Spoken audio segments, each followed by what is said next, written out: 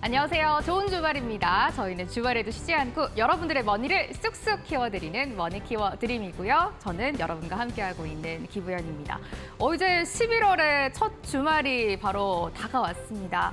오늘 11월을 맞아서 또 새로운 달에 새로운 전문가님을 머니 키워 드림에 모셔봤습니다. 시청자분들이 단기적으로 대응하면서 방망이 짧게 잡고 수익을 바로바로 챙기는 단기 매매 참 관심 많으실 것 같은데요. 오늘 함께하는 이 전문가님 의 주특기가 바로 단기 매매시라고 합니다. 이미 제야의 곳으로 굉장히 유명하신 분이더라고요. 주말 아침 저희와 함께 하시면서 새로운 전문가님의 이 주특기 단기 매매에 대한 비법 들어가시고요. 또 전문가님이 다음 주 월요일 바로 공략해볼 만한 히든 종목 세 종목 챙겨오셨다고 합니다. 이 종목까지 모두 챙겨가시기 바랄게요. 그럼 함께할 전문가님 화면으로 먼저 소개 도와드리겠습니다.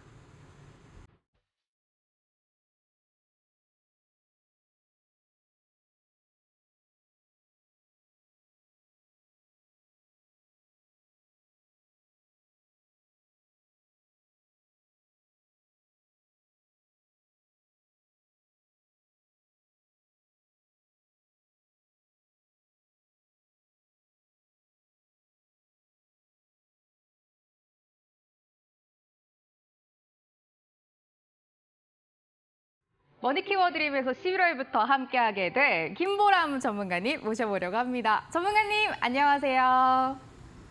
네, 안녕하세요. 시청자분들과 또 오늘 처음 이제 인사를 드리는 건데 간단하게 소개랑 인사 또 부탁드릴게요. 네, 안녕하세요. 김보람입니다.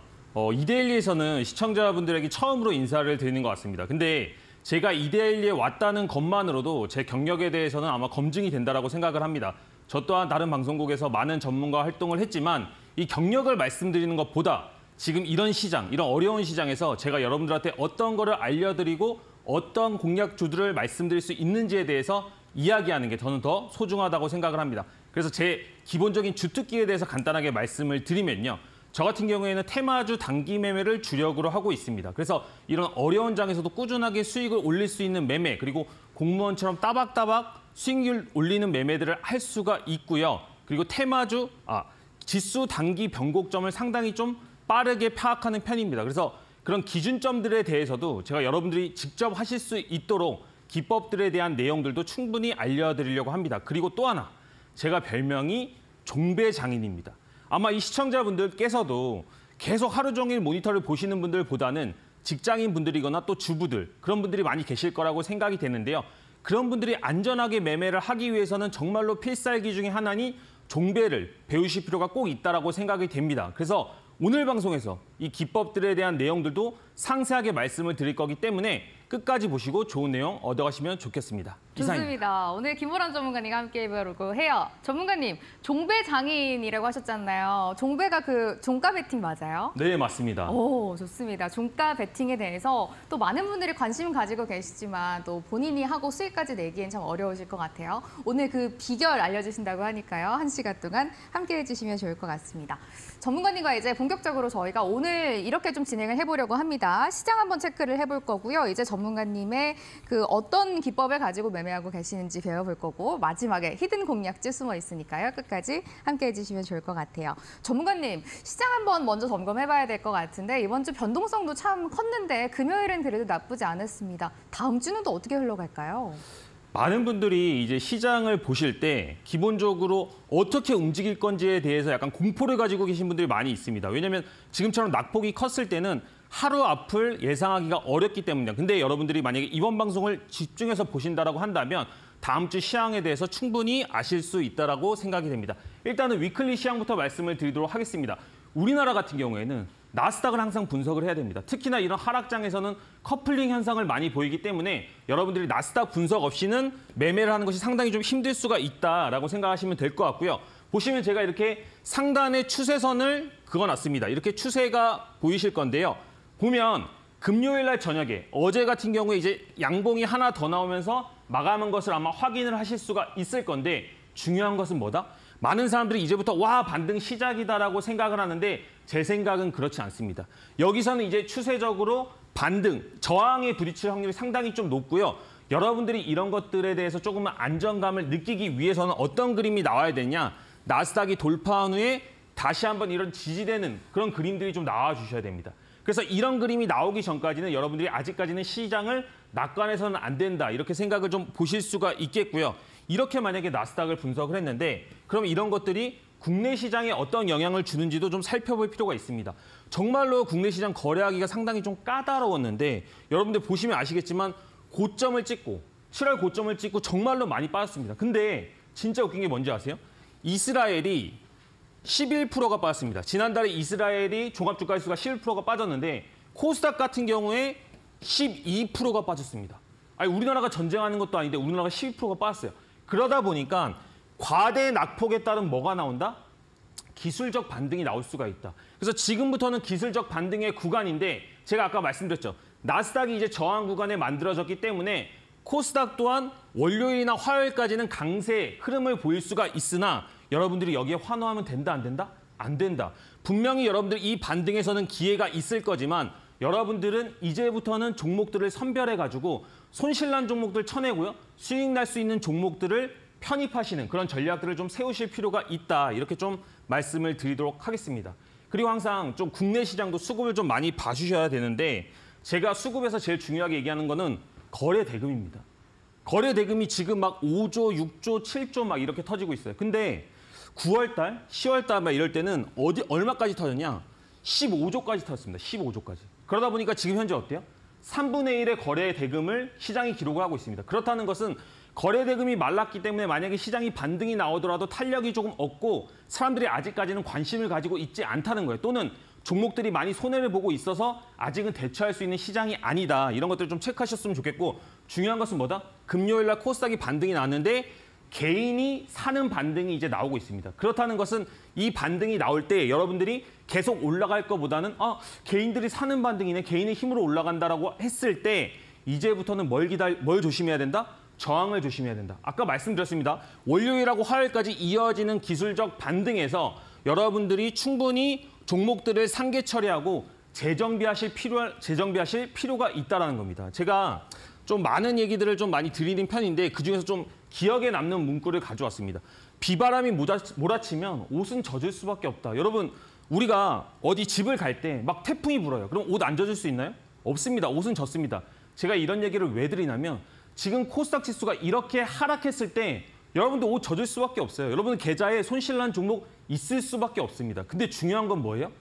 옷이 젖더라도 아프면 안 되잖아요. 옷이 젖더라도 몸살 나면 안 됩니다. 왜냐? 여러분들 계좌도 마찬가지인 게 손실은 날 수 있는데 그게 회복 불가능할 정도가 됐을 때 그럴 때는 상당히 좀 문제가 된다는 겁니다. 우리가 월요일, 화요일, 수요일 중에 이제 햇빛이 드는데 내가 조금 옷이 젖었어. 그럼 이제 말려야 되잖아요. 계좌들도 수익 낼 수 있는 종목 채워야 되잖아요. 그런 것들을 제가 이제 노란 톡방에서 알, 말씀드릴 거기 때문에 들어오셔서 많은 혜택들을 받으시면 될 것 같고요. 중요한 것은 뭐다? 지금 이 구간, 이 반등의 구간을 여러분들이 넉넉히 잊지 마시고 어떤 액션을 통해서 여러분들의 계좌를 심폐소생해야 된다. 어, 아프지 않게 계좌를 관리해 주실 필요가 있다. 이렇게 생각을 하시면 될 것 같습니다. 이상입니다. 좋습니다.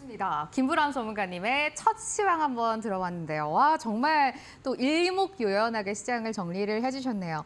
전문가님이 당분간 좀 시장의 저항을 조심해야 하기 때문에 너무 공격적이기보다는 조금 보수적인 대응 여러분들께 조언을 해주셨으니까 체크해 보시면 좋을 것 같습니다. 전문가님이 또 주특기가 단기적으로 지수의 변곡점을 판단하시는 겁니다. 만약에 시장이 올라가고 있다면 내려가는 포인트를 알려주시는 거고 시장이 내려가고 있다면 이제는 반등이 나올 겁니다. 이 포인트 를 정확하게도 맞추고 계시다고 하는데요. 여러분들 시장 참 대응하기가 어려우실 것 같은데 전문가님이 장중에 실시간으로 여러분들과 함께하고 있습니다. 시장에 대한 포인트, 종목에 대한 포인트까지 잡아주고 계시니까요. 노란톡 오픈 채팅방에서 함께 해 보시면 좋을 것 같아요. 입장하실 수 있는 방법을 좀 안내해드리려고 합니다. 여러분들이 스마트폰만 있으시면 누구든지 전문가님과 실시간으로 시장 대응 방안 들어보실 수가 있는데요. 지금 화면 오른쪽 밑에 보시면 이 검은색 네모 박스 보이실 거예요. 이게 바로 QR코드라는 겁니다. 여러분들이 스마트폰에 기본 카메라 먼저 실행시켜 주시고요. 반드시 카메라를 켠 채로 지금 화면 오른쪽에 나가고 있는 QR코드로 핸드폰을 가까이 가져다 대시면 되겠습니다. 한 저도 해보니까 2초 정도는 기다려야 되더라고요. 잠시 기다리시면 링크가 하나 나오실 거예요. 그 영어로 된 주소가 나오면 클릭을 하고 입장해 주시면 되겠습니다. 참여 코드 있는데 7 4개거든요. 7777 누르면 누구든지 들어오실 수가 있고 가끔 이거 들어오면 뭐 돈 내는 거 아니냐 하시는 분들 계시는데 있는데 전문가님 무료로 시장 view 전달해주고 계시니까 함께 해보시면 좋을 것 같아요. 어, 이렇게 들어오는 게 조금 어려운 분들 계시죠. 그래서 문자로 들어오시는 방법까지 준비를 해놨습니다. 문자 번호가 샵 3772번입니다. 건당 100원은 발생하는데요. 김보람이라고 전문가님 이름을 적어서 문자로 저희한테 보내주세요. 참여 링크 바로 답장으로 전달 드릴 거고요. 동일하게 참여 코드는 7777 누르면 들어오셔서 전문가님과 함께 하실 수가 있을 것 같습니다. 시장 한번 좀 저희가 거시적으로 들여다봤고 이제 조금 더 세세하게 들어가 봐야 될 것 같아요. 전문가님, 지금 시장에서 또 봐야 하는 이슈 굉장히 많잖아요. 어떤 거 꼽아오셨어요? 여러분들이 이슈를 좀 분석하실 필요가 있는데 제가 말씀을 드리는 게 차트적으로 분석을 하지만 시황을 보는 데 있어서는 앞으로 굵직굵직한 이슈들을 체크하는 게 상당히 좀 중요합니다. 그래서 제가 여러분들한테 증시에서 이슈가 될 만한 것들을 좀 뽑아왔습니다. 설명을 한번 드려보도록 할게요. 이게 되게 재밌는 게 지수가 반등이 나오니까 어떤 그 구실을 가지고 올라왔냐? 예상보다 덜 매파. 예상보다 덜 매파라는 거 들어보셨어요? 저는 사실 처음 들어봤습니다. 지금 보시면 금리가 동결했다는 것만으로도 증시가 상승을 했는데 저는 이런 것들은 그냥 기사가 주석을 다는 거에 불과하다고 생각을 해요. 결국에 하고 싶은 말은 무엇이냐? 증시가 반등 나올 위치가 됐기 때문에 뭘 시도한다? 기술적 반등을 시도한다. 그래서 여러분들이 이런 기사들을 보면서 아 진짜로 예상보다 덜 매파였으니까 증시가 계속 상승하겠구나 이런 식으로 생각하시면 오해하시면 큰일 난다는 겁니다. 그래서 이런 식으로 생각하실 게 아니고 항상 증시는 약간 내 기준점을 가지고 해석을 하는 것이 중요하다. 이런 얘기를 좀 드리고 싶고요. 그러면 이 이슈를 가지고 상승을 했는데 이제는 하락할 때는 어떤 이슈로 하락을 할 것인가 제가 한번 예측을 한번 해보도록 하겠습니다. 여러분들 미국 셧다운에 대해서 아마 이 리스크 한 번씩은 뉴스에서 들어보신 적이 있으실 건데 임시 예산안이 통과가 됐습니다. 임시 예산안이 통과가 됐는데 17일자로 마감이 돼요. 17일자로 마감이 된다는 것은 그 다음에 다시 한번 예산안이 통과가 되는데 이게 쉽지가 않습니다. 우크라이나 지원부터 해가지고 상당히 첨예한 부분들이 있기 때문에 만약 하나 미국이 셧다운이 된다라고 한다면 다시 한번 증시가 급락할 가능성이 급락할 가능성이 있고요. 그리고 증시의 위치 자체가 이미 아까 뭐라고 말씀을 드렸죠? 저항받을 위치에 있기 때문에 이런 부분들을 상당히 좀 체크하실 필요가 있다라고 생각을 하시면 될 것 같습니다. 그리고 여러분들이 이런 식으로 뉴스만 가지고 증시를 볼 게 아니라 차트적인 지표, 기술적인 지표를 가지고도 기준을 가지고 분석을 하실 필요가 있다는 겁니다. 근데 기상청을 대어보자. 기상청이 되어보자가 무슨 얘기냐면 여러분들 좀 이런 얘기는 웃긴 얘기인데 오보청 이런 거 들어보셨어요? 그만큼 기상청이 이 기상을 예측하는 게 상당히 좀 힘들다라고 합니다. 근데 이 힘든 거는 알겠는데 무슨 게 문제냐? 기상청을 믿었다가 1억을 날리는 일도 발생을 한다고 해요. 아니 뭐 주식 얘기하는데 기상청 얘기 왜 갖고 왔어요? 이렇게 얘기하실 수도 있는데 제가 말씀드리고 싶은 게 이겁니다. 여러분들이 증시를 예측하는 것에 대해서는 많은 관점과 많은 시나리오들을 들어보셨을 거예요. 근데 이게 뭐가 문제예요? 잘못 예측하고 그것을 믿었을 때 어떻게 된다? 금전적인 손실로 이어질 수가 있다는 겁니다. 그래서 많은 사람들의 의견을 들을 필요는 있지만 중요한 것은 뭐다? 본인 스스로가 기준을 세우고 증시를 예측할 수 있는 기상청이 되셔야 된다는 겁니다. 그 방법론에 대해서 말씀을 드릴 거기 때문에 걱정은 하지 마시고요. 항상 상승장에는 상승장에 맞는 전략, 하락장에는 하락장에 맞는 전략을 짜실 필요가 있다는 겁니다. 왜냐하면 상승장에는 종목 좀 안 좋아도 올라갑니다. 근데 하락장에는 좋은 종목도 떨어집니다. 그렇기 때문에 종목보다 여러분들이 증시를 기본적으로 파악할 수 있는 능력이 있으셔야 된다는 거예요. 지수를 이기는 종목은 없다. 이걸 꼭 기억하시면서 제가 지금부터 여러분들한테 말씀드릴 증시를 분석하는 툴에 대해서 한번 보시면 될 것 같아요. 저는 정말 좀 간단하게 주식을 여러분들한테 설명을 드리고 싶어요. 그래서 여러 가지 보실 필요 없습니다. 뭐 거시적 지표 이런 것들보다도 차트 하나만 가지고도 기본적인 단기적 지수의 움직임을 파악할 수가 있는데 중요한 것은 뭐다?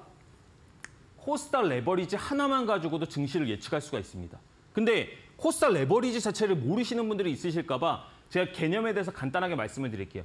코스닥이 1% 올라가면요. 2%가 올라갑니다. 그리고 코스닥이 1%가 떨어지면 2%가 떨어져요. 그래서 코스닥 레버리지라는 것은 ETN, ETF의 하나의 종류인데 종목으로 코스닥의 지수를 종목으로 치환시켜서 분석해서 지수가 앞으로 올라갈지 떨어질지를 단기적으로 예측한다. 이렇게 생각하시면 될 것 같습니다. 보시면 코스닥 지수가 있죠. 레버리지가 움직이고 있는데 여기 보면 빨간색 선이 보이실 겁니다. 빨간색 선 보이시죠? 이 빨간색 선이 무슨 선이냐?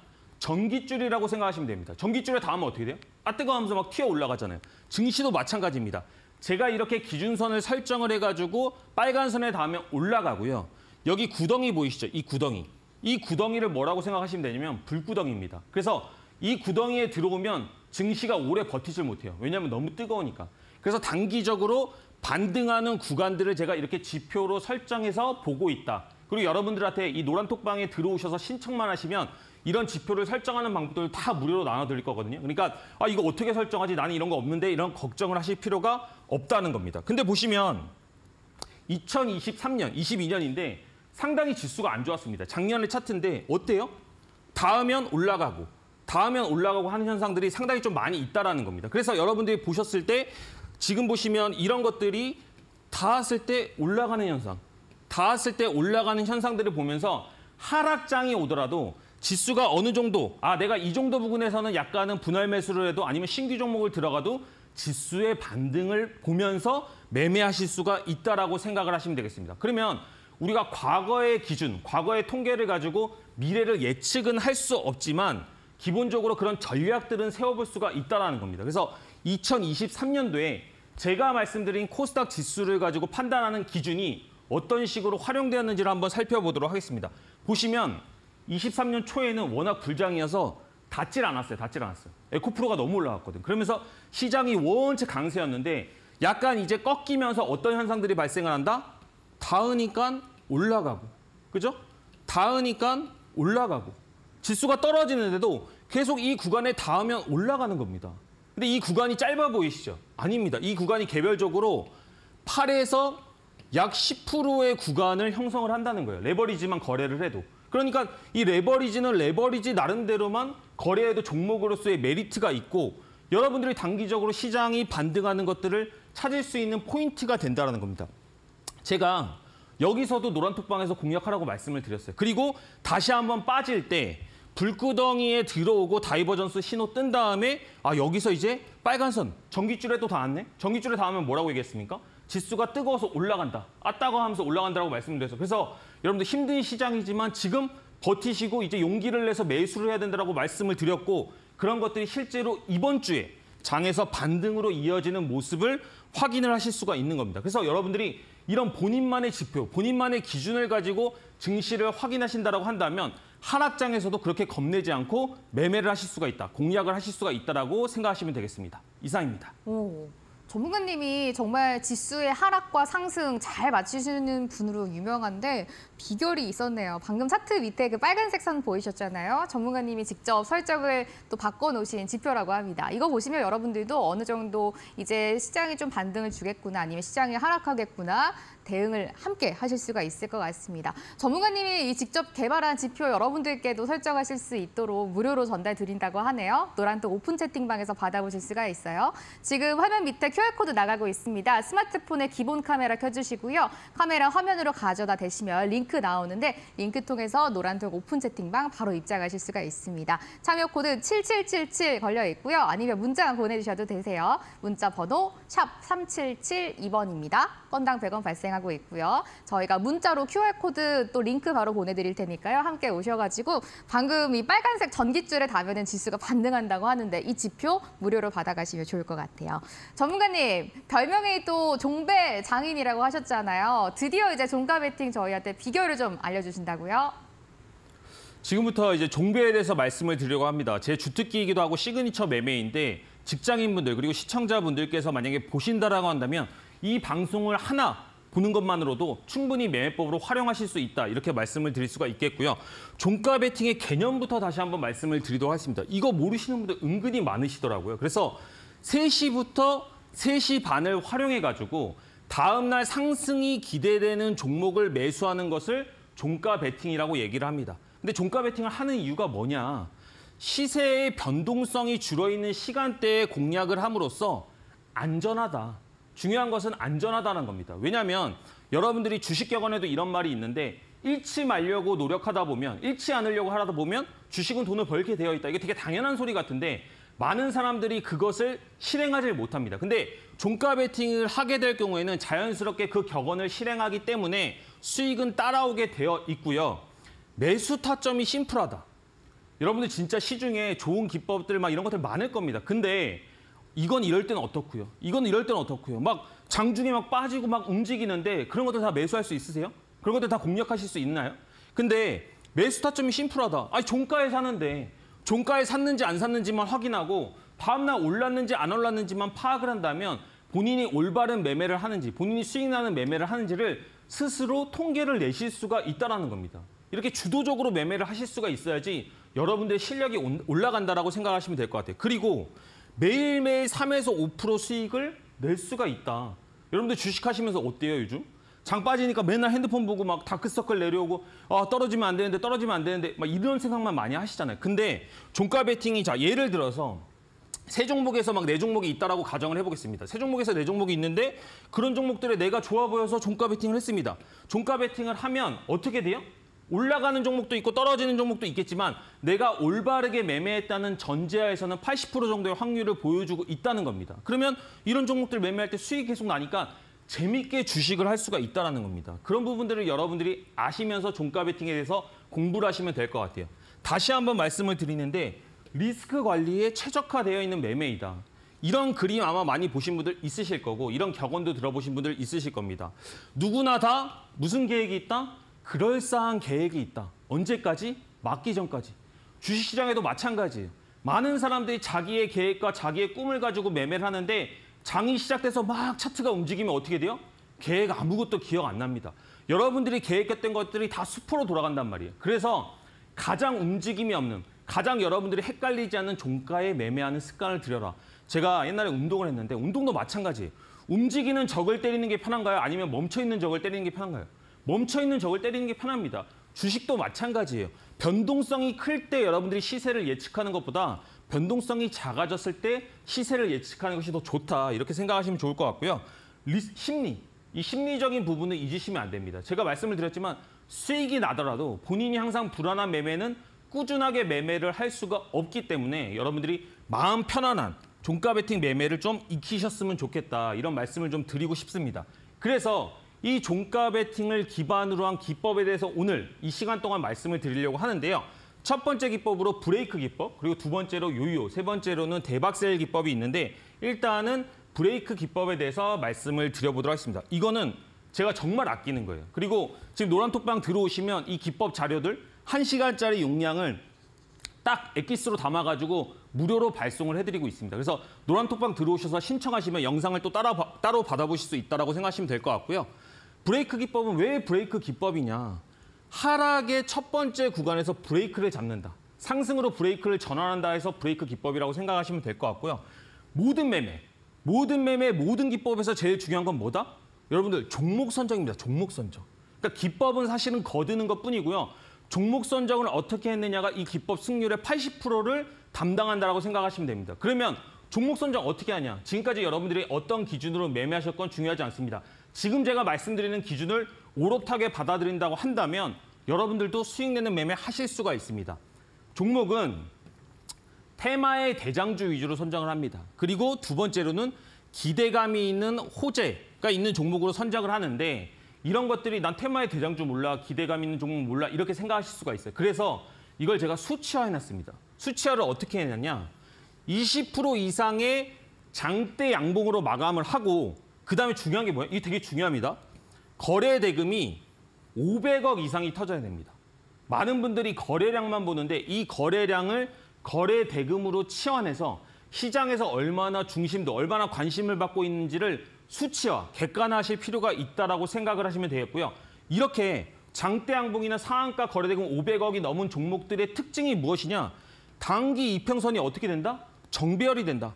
5일선, 11선, 21선, 60일선들이 정배열이 되기 때문에 자연스럽게 이렇게 정배열의 종목들을 거래하실 수 있다라고 생각하시면 되겠습니다. 그러면 매수 포인트 어디예요? 매수 포인트. 매수 포인트가 제일 중요하잖아요. 많은 분들이 테마주 매매, 세력주 매매를 할때 5일선 위에서 막 매매합니다. 3일선도 하고요. 심지어는 막 상따도 해요. 근데 그런 게 얼마나 위험한지 아세요? 그래서 저는 그분들한테 좀 죄송한 얘기인데 그런 분들이 손절하는 5일선 이탈, 이탈, 이탈 가격 음봉에 산다. 음봉 중에서도 또 어디에서 산다? 종가에서 산다. 그러니까 많은 사람들이 5일선을 기준으로 손절을 하는데 저희는 참고 참고 참고 기다렸다가 남들이 손절하는 안전한 자리에서 매매를 첫 번째로 시작을 한다면 또 그중에서도 종가 베팅으로 시작을 하게 된다면 수익 낼 확률이 상당히 높다라고 생각을 하시면 되겠습니다. 알테오젠 한번 보도록 할게요. 이게 이제부터 예시를 되게 많이 보여드릴 건데 왜냐하면 제가 영상에서 그냥 말씀을 드리거나 방송에서 말씀을 드려도 이게 종, 종합이 안 되는 거예요, 종합이. 그래서 저는 예시들을 많이 얘기를 드리는 편인데 알테오젠이 이렇게 올라갈 때 여기 거래금이 막 4천억 이렇게 터졌던 걸로 기억을 합니다. 그리고 실제로 시장에서 막 이 의료 관련, 바이오 관련 섹터들이 엄청나게 강했어요. 엄청나게 강하고 섹터가 올라간다는 건 시장에 돈을 잠식하고 있다. 다 가져가고 있다. 시장에 많은 사람들이 이것만 쳐다보고 있다라고 생각하시면 될 것 같고요. 그 다음에 어떻게 돼요? 어디서 산다고요? 음봉. 오일선 깨는 음봉. 여기서 공략을 하시게 되면 다음 날에 올라가는 상승분을 취할 수가 있는데 자 보세요. 상승분이 15.06%까지 올랐습니다. 근데 15.06%다 먹을 수 있나요? 아 저는 아니에요. 저는 솔직히 못 먹습니다. 근데 저는 여러분들한테 이런 얘기를 드리고 싶어요. 여러분들이 3%를 먹던 5%를 먹던 꾸준하게 본인이 먹을 수 있는 어떤 기법과 기준이 있다라고 한다면 한 종목에 집착하실 필요 없단 말이에요.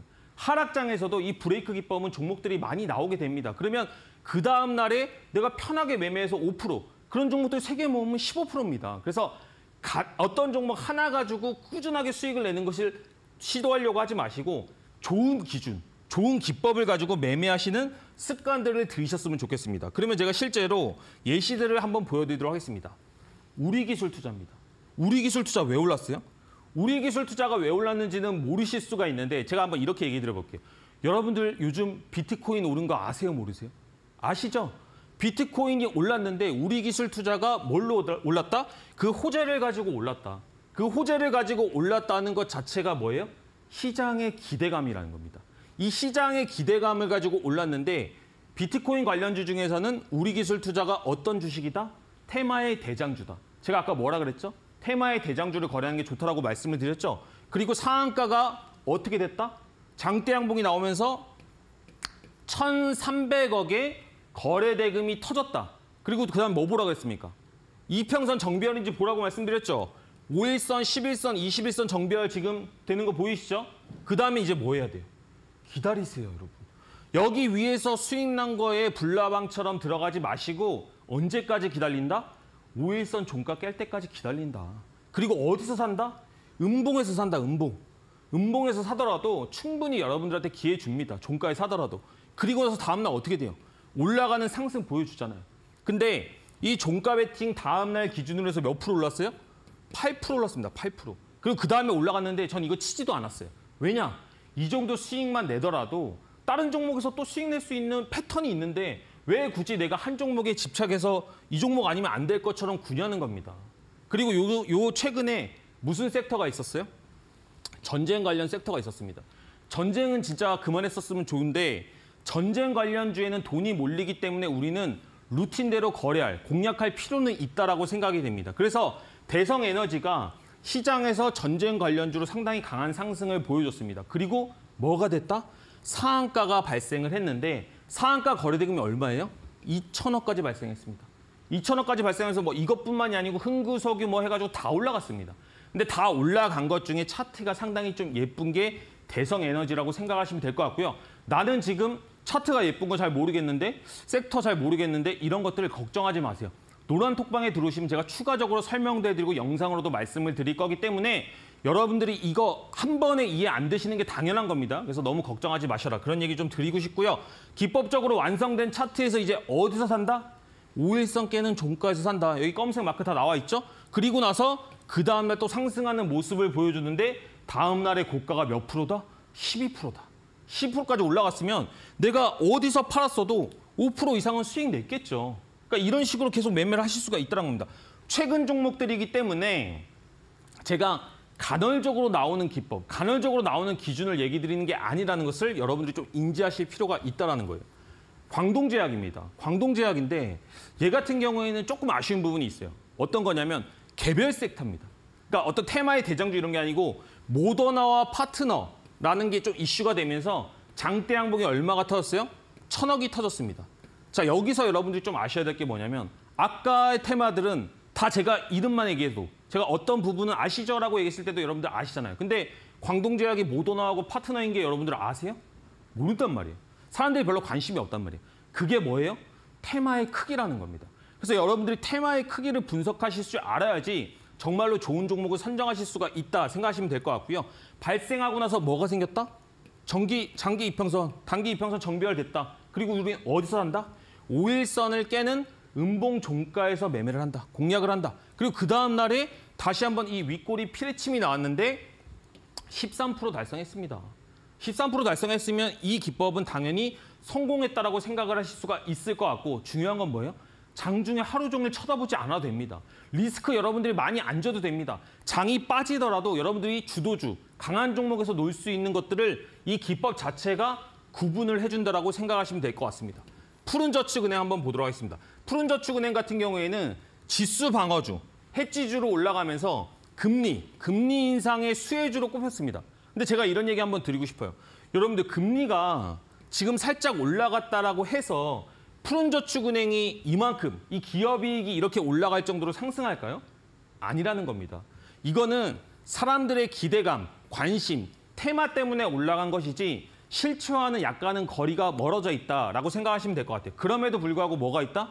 시장에서 거래 대금이 형성되고 테마가 형성되고 사람들이 관심을 받게 된다라고 한다면 분명히 들어오는 사람이 있고 나가는 사람이 있는데 그 순간에 맥점을 잡을 수가 있다. 뭘로 잡을 수가 있다? 브레이크 매매 기법으로 잡을 수가 있다. 장대 양봉 600억이 나왔고요. 종가 베팅 다음 날에 10%까지 상승하는 모습들을 보여줬습니다. 올라갔다가 다 떨어져가지고 이게 바닥까지 왔는데도 이렇게 큰 상승을 보여주고 이렇게 안전한 자리에서 종가에 살 수 있는데 왜 여러분들 굳이 어려운 매매를 계속 하려고 하시는지 모르겠다는 거예요. 그래서 지금부터라도 노란톡방 들어오셔서 여러분들이 이런 종목들을 공략한다라고 한다면 충분히 안전하게 매매하실 수 있다는 겁니다. 매매하지 말아야 되는 패턴. 저는 좀 이게 중요한 것 같아요. 왜 이게 중요하다고 생각을 하냐면 여러분들 학교 다니실 때 공부 잘하는 애들이 뭐 잘하나요? 오답 노트 잘 씁니다. 그래서 저는 되는 것만 보여드리기보다도 여러분들이 안 되는 것들을 인지하셨을 때 실력이 많이 상승한다고 생각을 하는데 자, 탑 머트리얼을 가지고 말씀을 드려보도록 하겠습니다. 탑 머트리얼 같은 경우에는 상승을 했어요. 상승을 했는데 이게 올라갈 때 호재가 뭐 음극재 관련 호재였던 걸로 기억을 합니다. 근데 일단은 차트적으로도 안 맞아요. 차트적으로도 이렇게 너무 역배열의 그림에서 저는 들어가는 것을 추천드리지 않고요. 두 번째로 아까 뭐라고 말씀드렸죠? 호재가 중요하다, 테마가 중요하다고 얘기를 했는데 지금 2차전지 누가 보나요? 2차전지 이제 끝물이란 말입니다. 그래서 이렇게 후발에 걸린 테마들의 종목들에는 실질적으로 공략했으면 수익 났겠죠. 수익 난 게 중요한 게 아니고 여러분들 이런 수익들은 나중에는 진짜 큰 독이 될 수가 있습니다. 그래서 저는 여러분들이 매매하지 말아야 되는 패턴에 대해서도 공부하시고 인지하는 것들이 중요하다. 제가 이런 패턴들 노란톡방에서 또 말씀을 드릴 거기 때문에 같이 익혀보면서 여러분들의 종가 베팅 기법을 다듬어 가시면 되겠습니다. 이상입니다. 종배 장인이라는 이 닉네임을 가지고 계시는 김호람 전문가님의 종가 베팅 어떻게 하고 계시는지 제일 소중한 기법을 오늘 하나 공개를 해주셨어요. 브레이크 기법이었는데요. 바로 5일선을 깨는 종가에서 우리가 접근을 하고 단기적으로 빨리 수익을 챙기는 기법이었습니다. 최근에 뭐 광동제약이나 대성에너지 같은 종목들로 10% 넘게 종가 베팅으로 수익을 주셨던 종목인데요. 여러분들도 이렇게 단기적으로 하지만 안전하게 수익 챙기고 싶으실 것 같아요. 전문가님이 여러분들 종가 베팅 어떻게 해야 하는지 어떤 종목으로 접근해야 하는지 다 콕콕 집어주고 계시니까 안전하게 전문가님과 함께 해보시기 바랄게요. 노란톡 오픈 채팅방에 입장하시면 전문가님과 함께 종가에 어떤 종목 종목 공략해야 하는지 들어보실 수가 있습니다. 지금 화면 밑에 QR코드 나가고 있습니다. 여러분들이 스마트폰에 기본 카메라 먼저 실행시켜 주세요. 카메라를 켠 채로 QR코드 가까이에 휴대폰을 가져다 주시면 되겠습니다. 잠시 기다리시면 링크 하나 나오는 거 보이시죠? 그 영어로 된 주소 클릭하시면 입장하실 수가 있습니다. 참여 코드 7777 걸려 있고요. 주말 아침인데 문자도 굉장히 많이 보내주고 계시네요. 문자 보내주셔도 QR코드 입장하실 수가 있어요. 번호 샵 3772번입니다. 건당 100원 발생하고 김보람이라고 전문가님의 이름 적어서 보내주시면 저희가 답장으로 이 노란톡 오픈 채팅방 링크를 바로 전달드릴게요. 편하게 들어오실 수가 있을 것 같아요. 동일하게 참여 코드 7777입니다. 전문가님, 오늘 또 첫날이고 주말 아침부터 굉장히 많은 분들이 함께하고 계시는데 제일 소중한 기법, 브레이크 기법 알려주셨잖아요. 기법 하나 더 풀어주세요. 아, 그래도 지금 장이 안 좋다 보니까 제가 기법을 하나 더 말씀을 드리도록 하겠습니다. 제가 사실은 작년에 비해서 13kg가 쪘는데 다이어트를 안 하고 있습니다. 왜 안 하냐면 요요가 무서워서 안 하고 있거든요. 그만큼 요요가 무서운데 주식에서도 요요 기법을 제가 만들어서 이 무시무시한 파괴력, 다이어트에서 요요가 무서운 것만큼 주식에서도 요요 기법이 얼마나 무서운지에 대해서 한번 말씀을 드려보도록 하겠습니다. 이 또한 마찬가지로 정말 안전하게 매매를 하실 수가 있는 기법이라고 생각하시면 되는데요. 일단은 기본적으로 올라간 종목, 종목 선정이 중요하다고 말씀을 드렸습니다. 확정된 일정이나 기대감을 가지고 올라간 종목들을 공략한다라고 생각을 하시면 됩니다. 근데 보시면 유신 같은 경우에 우크라이나 재건 뭐 이런 사절단에 합류를 하면서 주가가 상승을 했어요. 지금 보시면 이 빨간 박스 보이죠? 이 빨간 박스가 앞으로도 제가 이 빨간 박스를 많이 칠 건데 요요 기법에서 어떤 특정한 호재나 기대감을 가지고 상승한 뭐다? 상승분이다라고 생각을 하시면 됩니다. 근데 진짜 재밌는 게 이 상승분, 이 기대감은 다 가지고 있는 종목들 중에서 상승분을 다 반납하는 경우가 생긴단 말이에요.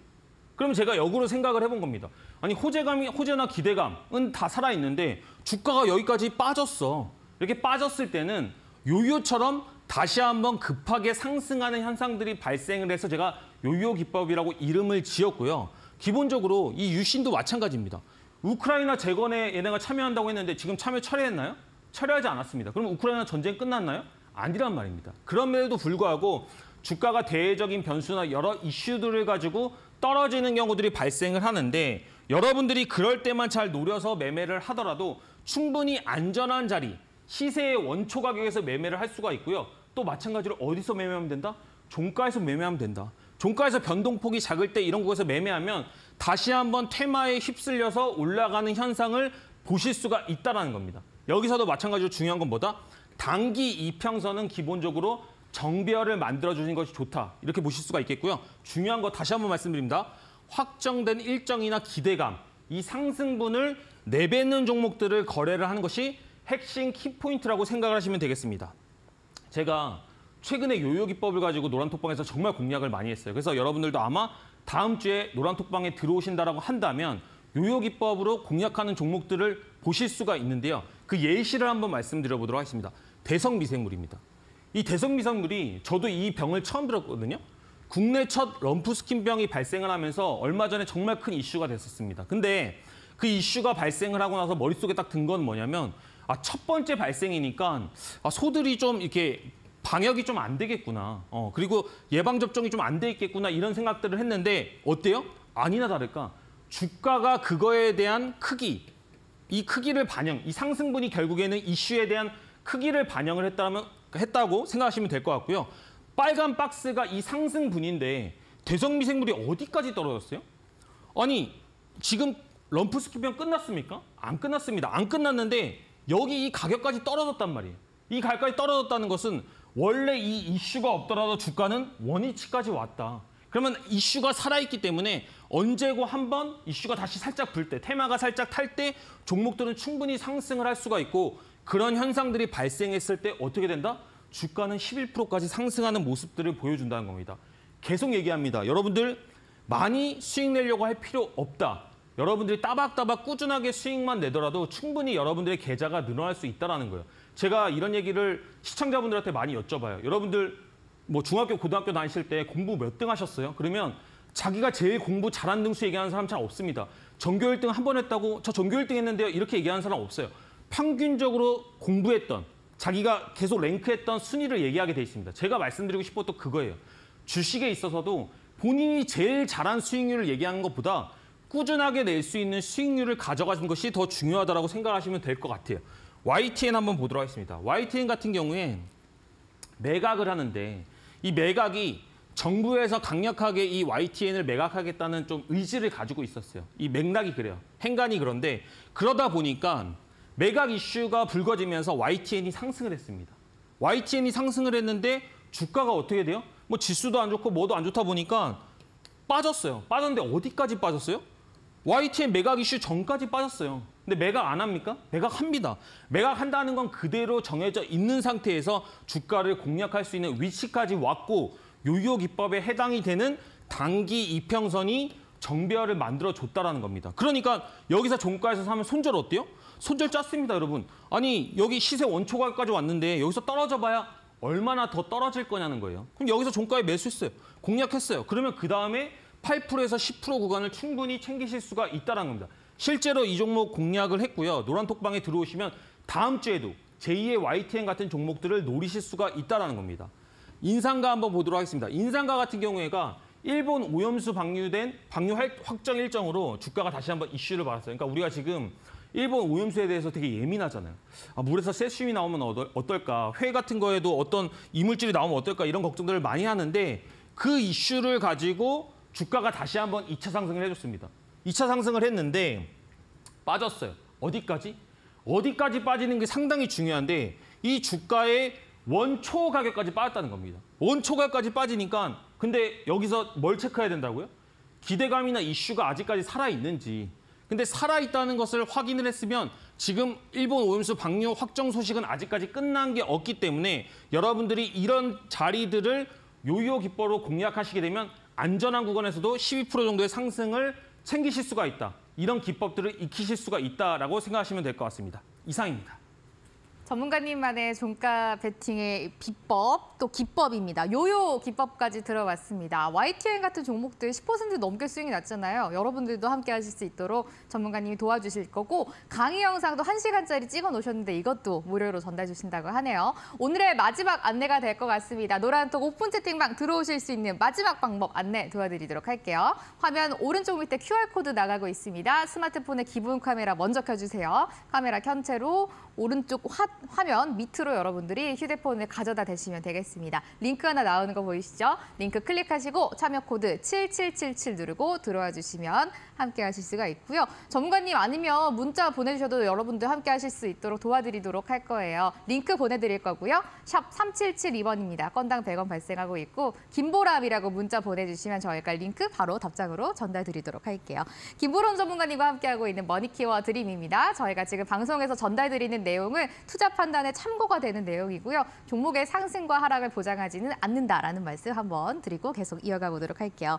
전문가님, 소중한 기법 오늘 두 개나 풀어주셨고 드디어 이제 다음 주 공략해볼 만한 hidden 공략주 만나볼 시간입니다. 오늘 어떤 종목 가지고 오셨어요? 제가 오늘은 hidden 공략주를 무려 세개나 가져왔습니다.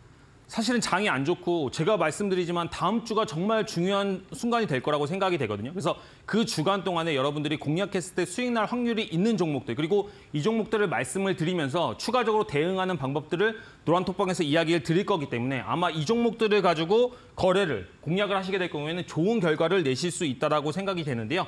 S&T 에너지, 히림 그리고 화천기계를 공략할 겁니다. 근데 그냥 공략하는 게 중요한 게 아니에요. 제가 지금까지 말씀드렸던 기법적인 내용들을 적용해서 여러분들이 어떤 식으로 매매를 해야 되는지, 어떤 식으로 시장을 봐야 되는지, 공략주를 어, 봐야 되는지를 이야기를 드리도록 하겠습니다. 보시면 S&T 에너지입니다. S&T 에너지 같은 경우에는 요요 기법으로 지금 가능한 구간인데 사우디 수혜주, 그러니까 윤 대통령이 이제 사우디에 가면서 이 관련된 수혜주들이 많이 올라갔습니다. 앞으로의 뭐 수혜를 받을 것이다. 그리고 사우디 국빈 방문에 실질적으로 S&T 에너지가 참여를 하다 보니까 아 이거 뭐 있는 거 아니야? 막 이런 생각들을 하게 되는 시장에 뭐가 있다? 기대감이 있다는 겁니다. 이 기대감을 제가 어떻게 표현할 수가 있다라고 얘기를 드렸죠? 빨간색 박스로 쳐서 기대감으로 상승한 상승분에 대해서 여러분들이 확인을 하실 필요가 있다는 겁니다. 그리고 거래대금 1,200억 터졌으니까 충분히 많은 사람들이 보고 있다고 생각을 할 수가 있고 그다음에 중요한 거 뭐예요, 여러분? 주가가 빠져야 되는데 어디까지 빠져야 된다? 원초 가격까지 빠져야 된다. 원초 가격까지 빠진다면 뭐 봐야 돼요? 계속 얘기 드리고 있습니다. 이 기대감이 살아있는지. 지금 사우디에서 이거 안 한다고 했나요? 어떤 이제 수혜나 앞으로의 사업적인 일정들에 대한 기대감들이 남아 있는데 지금 주가는 원초가까지 빠지고 어디까지 왔어요? 지금 단봉들 세우면서 종가적으로 잡아줄 수 있는 기법의 자리까지 왔다는 겁니다. 그럼 이런 종목들을 이제 다음 주에 노란톡방에서 공략을 하게 되면 상당히 좀 좋은 성과를 낼 수 있다라고 보시면 될 것 같고요. 그 다음에 종목으로는 히림입니다. 마찬가지로 사우디 수혜주입니다. 왜 이런 종목들이 지금 사우디 관련주들이 많이 나오냐? 지수가 상승을 했다가 단기적으로 급락을 했잖아요. 근데 일정들은 아직까지 남아있기 때문에 제가 예상하기로는 지수가 반등이 나오면서 순환매가 시작될 때 사우디 관련 주식들도 다시 한번 기술적인 반등들을 하지 않을까 생각을 하는데 그 과정에서 저희는 가격적으로 메리트 있는 구간, 손절이 짧은 구간에서 들어가면 상당히 유리하게 매매를 할 수가 있다라는 겁니다. 현대건설 협력 MOU를 체결을 했습니다. 그러다 보니까 히림이 이제 아 뭔가를 하겠구나. 대기업하고도 이런 것들이 이, 이슈가 됐을 때는 앞으로 또 어떤 이슈가 나올 수가 있겠구나. 아 앞으로 사우디 관련 일정이 또 기대할 수 있겠구나라고 생각을 하실 수가 있고요. 그 다음에 뭐가 있어요? 상승분. 상승분을 반납했다. 제가 여러분들한테 막 이렇게 고점에서 노는 종목들을 가지고 공략을 하면 저도 무서워서 시청자분들이 아 이거 했다가 손절하면 어떡하지 이런 생각으로 쉽게 말씀을 못 드릴 거예요. 근데 히림 보세요. 이평선들 어때요? 여기가 다 매물대라는 겁니다. 이 매물대를 차곡차곡 해소하고 여기서 또 상한가 만들어주고 다시 한번 다지고 있는데 만에 하나 이게 실패하더라도 어디까지 빠질 거냐는 겁니다. 그러니까 이렇게 안전한 자리, 바닥을 다진 자리에서 뭘로 공략을 해야 된다? 요요 기법으로 공략하셨을 때 여러분들이 성공할 수 있는 확률이 높고 두 번째로 뭐다? 리스크가 작다, 리스크가. 여러분들은 진짜로 뭐에 집중하셔야 됩니까? 리스크 관리에 집중해야 됩니다. 그래서 낮은 주식을 공략을 하되 종가에 또 공략을 함으로써 여러분들의 리스크를 최대한 줄이실 수 있다라고 생각하시면 될 것 같습니다. 화천기계 이것도 좀 말씀을 드리고 싶어요. 화천기계 같은 경우에는 여러분들도 다 아시는 게 조국 관련주입니다. 이거 주식하는 사람은 거의 대부분이 알고 있는 건데 조국 관련주를 왜 가지고 왔냐 정치 테마주를 지금 증시 일정이 이제 반등도 나오고 뭐가 있겠죠. 뭐가 있는데 저는 그런 관점보다는 이제는 뭐가 오고 있다?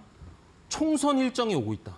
총선이 조금씩 조금씩 가까워지고 있습니다. 그렇다고 한다면 현재 조국 이 전 장관이 출마할지 안 할지는 모르죠. 근데 많은 사람들이 뭘 가지고 있다? 출마할 거라는 기대감을 가지고 있다. 그리고 그냥 뉴스나 뭐 이런 행간들을 봤을 때 웬만하면 출마할 것 같아요. 그럼 실질적으로 출마했을 때는 주가가 상승 탄력을 받을 것이고 출마하지 않더라도 총선 일정과 관련해서 뭐가 있다? 기대감이 있다. 그래서 그 기대감으로 어떤 부분이 됐다? 상승을 했다. 이 상승 박스를 치는 게 되게 중요하다고 얘기를 했습니다. 그러면 상승 박스를 치고 나서 주가를 이제 어디까지 기다린다? 계속 기다리세요. 어디까지? 원 초 가격까지. 원 초과까지 기다리면 이 구간대에서 충분히 매매할 수 있는 종목들이 발생을 한다는 겁니다. 뭐가 있는 종목 중에? 기대감이 남아있는 종목 중에. 근데 화천기계가 약간 그 원초각에서 조금 벗어나고 있지만 아직까지는 총선의 일정이 확실히 남아있고 테마가 좀 큰 테마입니다. 정치 테마주 같은 경우에는 약간은 테마가 크다라고 보시면 되기 때문에 이런 구간들을 노란 톡방에서 같이 공략을 한번 해볼 겁니다. 그래서 이런 종목들을 여러분들이 시장에서 담아두시고 앞으로의 상승 구간, 앞으로의 단기적인 박스 구간에서 매매를 하신다라고 한다면, 공략을 하신다라고 한다면 정말로 여러분들한테 다음 주에 아주 중요한 구간에 좋은 성과를 낼 수 있을 거라고 생각을 합니다. 이상입니다. 오늘 김보람 전문가님이 여러분들과 만나는 또첫 시간이었잖아요. 그래서 히든 공략주 세 종목을 들고 오셨습니다. S&T 에너지, 히림, 그리고 화천기계라는 세 가지 종목이었었는데요. 여러분들이 다음 주 시장에 공략해볼 만한 종목들 가지고 오셨으니까 체크해보시면 좋을 것 같고 이거 하나는 챙겨가셔야 될 것 같아요. 여러분들이 이 종목을 다음 주 월요일 장 시작하자마자 바로 공략하시는 게 아니라 언제 타이밍에 접근을 해야 하고 언제쯤 수익을 챙겨야 하는지 전문가님이 정확한 전략 제시해 주신다고 합니다. 이거 듣고 안전하게 대응하셔야 될 것 같아요. 지금 화면 오른쪽 밑에 네모난 검은색 박스 보이시죠? QR코드 나가고 있습니다. 여러분들이 스마트폰에 기본 카메라 켜시고요. 화면 가까이 가져다 대주세요. 링크 하나 나오실 건데 링크 타고 들어오시면 김보람 전문가님의 노란톡 오픈 채팅방 들어오실 수가 있습니다. 종가 공략주 여러분들께 전략 드린다고 하네요. 아니면 문자 보내주시겠어요? 샵 3772번입니다. 건당 100원 발생하고 김보람이라고 전문가님 적어서 보내주시면 저희가 링크 바로 답장으로 전달드리도록 할게요. 오늘 이렇게 hidden 공략주 세 가지 들어봤고요. 너무 아쉬운데 전문가님과는 여기서 인사를 좀 나눠야 될 것 같아요. 전문가님 다음 주에 뵐게요. 고맙습니다. 여러분들과 주말 아침 머니키워드림 함께했습니다. 오늘 전문가님과 함께 저도 여기서 좀 인사를 드려야 될 것 같습니다. 행복한 주말 보내시길 바라겠고요. 저희는 다음 주 주말 또 여러분들과 함께 찾아뵙도록 할게요. 여기서 인사드리겠습니다. 고맙습니다.